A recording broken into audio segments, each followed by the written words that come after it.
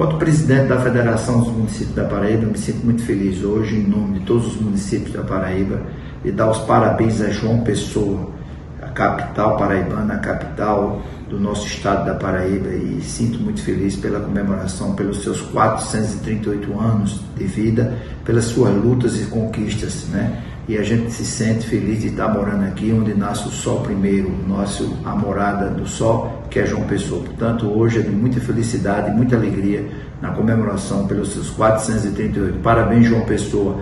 Parabéns ao Sistema Correio de Comunicação pelos seus 70 anos de boa comunicação, de levar essa comunicação a todo o estado da Paraíba e serviços relevantes à nossa Paraíba, quanto federação e também todos os municípios da Paraíba, nós comemoramos essa data especial também dos 70 anos do Correio e a todos que fazem o Correio, é, o Sistema Correio de Comunicação, nossos parabéns.